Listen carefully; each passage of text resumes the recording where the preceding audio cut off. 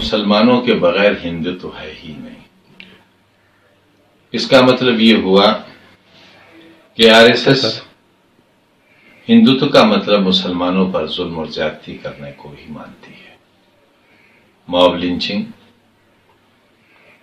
गौरक्षा के नाम पर गरीब कमज़ोर मुसलमानों की जाने लेना गंगा को साफ़ न करना नौकरियाँ देने का झांसा देकर जनता को ठग लेना जिसे मुसलमान भी हैं। बीस लाख रुपए का वायदा करके उनसे कर जाना जिसे मुसलमान भी हैं।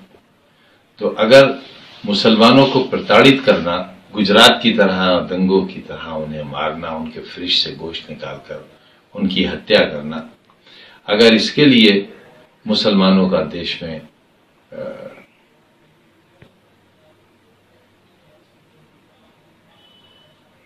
अपमानजनक जीवन व्यतीत करने के लिए मजबूर करना अगर इसके लिए आरएसएस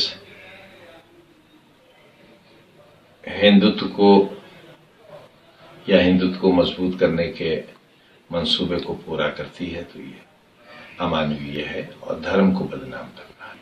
अच्छा मोहन भागवत जो मुसलमानों की बात कर रहे हैं तो किन मुसलमानों की बात कर रहे हैं? कौन से वो मुसलमान हैं? जो मारे जा चुके दंगों में जो गुजरात में मारे गए।